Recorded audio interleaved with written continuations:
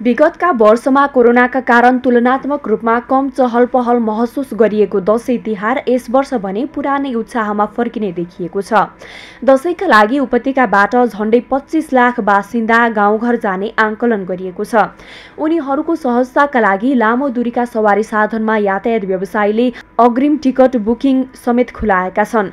यस वर्ष यात्रुको बढी चाप हुन सक्ने भन्दै सुरक्षा र सहज यात्राका लागि तयारी समेत सुरु भएको छ।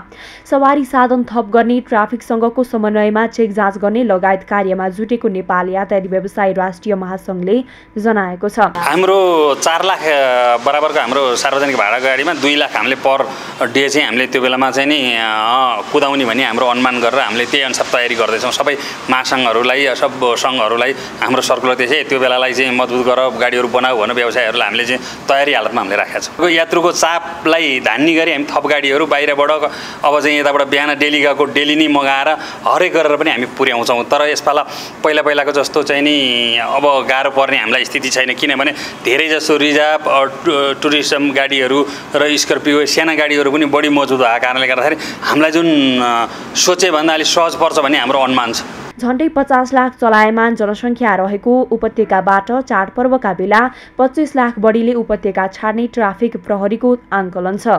ट्राफिक प्रहरीले लामो दूरीका सवारी साधनलाई लक्षित गरी उपत्यकाका सबै नाकामा चेक जाँच गर्ने सवारी साधनबाट हुन सक्ने ठगी र यात्रुलाई सहजै गन्तव्य स्थलसम्म पुग्ने वातावरण निर्माण गर्न योजना पनि ल्याइसकेको छ।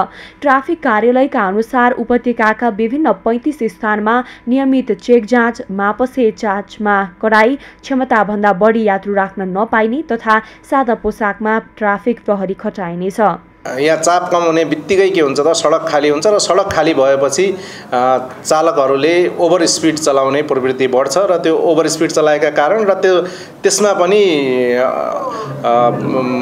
मादक पदार्थ सेवन गरेर चलाउने अथवा अन्य इन्फ्लुएन्समा चलाउने जुन प्रवृत्ति छ त्यसले गर्दा सवारी दुर्घटनाहरू बढ्छ चाडबाडको बेलामा र त्यसलाई न्यूनीकरण गर्नुको लागि हामीले नियमित रूपमा चेकिङ गर्ने र मापसे चेक पनि दिउँसो र साँझ राति तिनटै समयमा मादक पदार्थ सेवनको पनि चेक गर्ने योजना बनाएका छौँ यस्तै ट्राफिक प्रहरी कार्यालय र यातायात व्यवस्था विभागले चाडपर्वलाई लक्षित गरेर राजधानीका विभिन्न चौध स्थानमा यात्रु सहायता कक्ष स्थापना गर्नेछ।